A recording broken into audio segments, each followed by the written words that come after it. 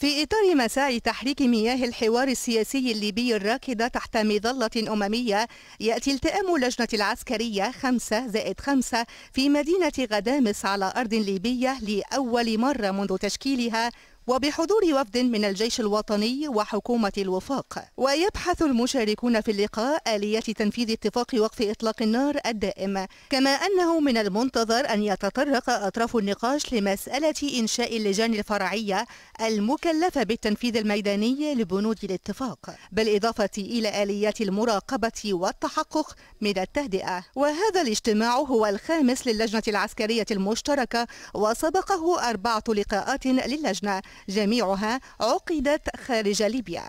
ولهذا يعتبر البعض اجتماع غدامس بوادر انفراجة للأزمة الليبية المستمرة منذ سنوات.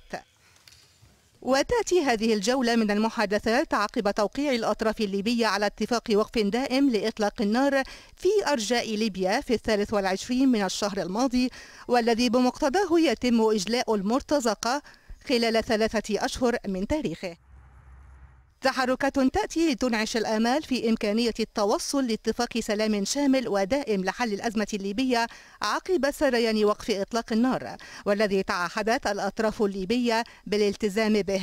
وبعد أن مهدت له اجتماعات تشاورية من القاهرة إلى الرباط وجنيف.